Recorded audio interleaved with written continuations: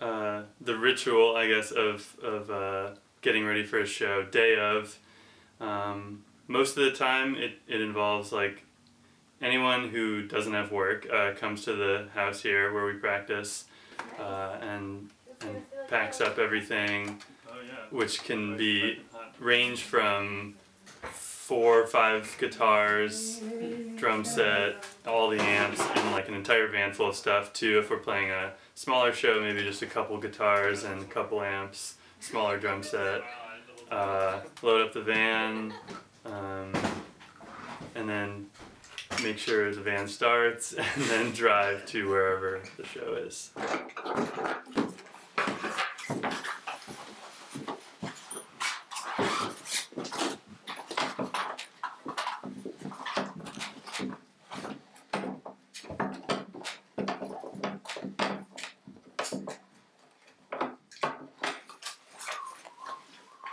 Well, it's really nice to play a show in Boston because all our friends are there, but it's also a little more nerve wracking to play in Boston because all our friends are there. Uh, so sometimes I get, especially like uh, when we're, you know, uh, when we're on stage, uh, just seeing people, seeing my roommates in the crowd is kind of uh, is a, is a different experience than seeing f- just general faces.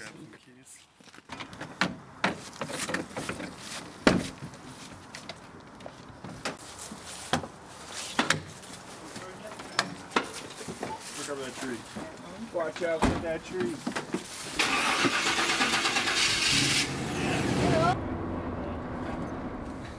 There was one time we played at Rockwood Music Hall in New York, and we parked kind of far away, and we were just we were just loading on stage, and I was like, "Where's my guitar?"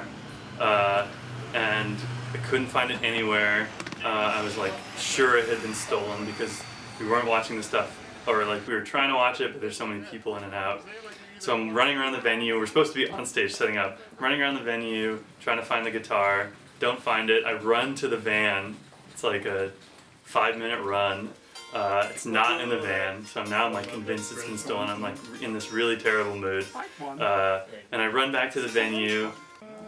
I'm just like, okay, I guess I'll just borrow one. And eventually, I, but I'm like in this awful mood, and I'm supposed to be on stage. And I finally, I see it behind a curtain. It had been moved, like literally behind a curtain next to the stage.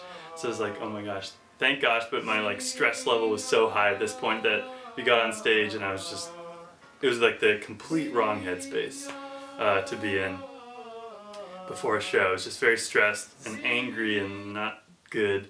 Freaking Uh, out. Yeah, freaking out basically. Uh, and so that's something that we've learned is like the the headspace that you are in right before you play and you know when you're getting to the venue is often the same one as when you get on stage. So making sure that that can be as stress free and uh, you know just the right the right you know the right mood is important before because you, you bring it with you on stage.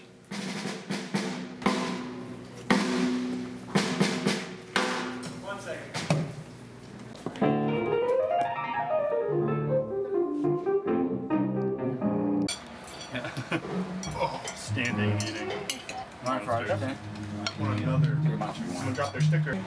As when I came down off the mountainside And though my legs they gave way by the end of the day Well, you can prepare as well as you can for it, uh, but it's, you're always going to have new things happening on stage that you didn't expect.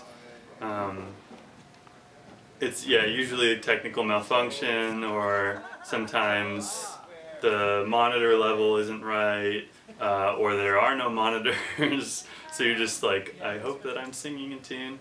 Um, but the, all you can do is just prepare, you know, as much as you can, uh, and hope for the best.